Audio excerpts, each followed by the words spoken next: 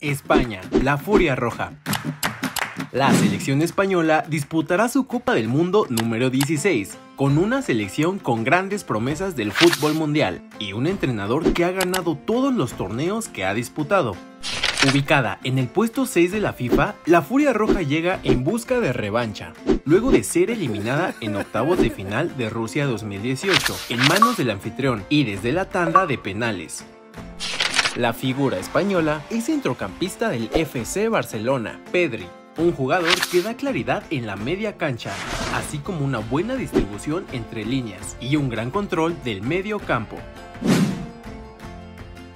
El propio Pedri es el futbolista más valioso con un valor de 90 millones de euros, liderando a una plantilla tasada en 805 millones en su conjunto. La historia de la selección española se remota en 1920, cuando España acudió a los Juegos Olímpicos de Bélgica, debutando el 28 de agosto de ese mismo año, con victoria 1-0 sobre Dinamarca.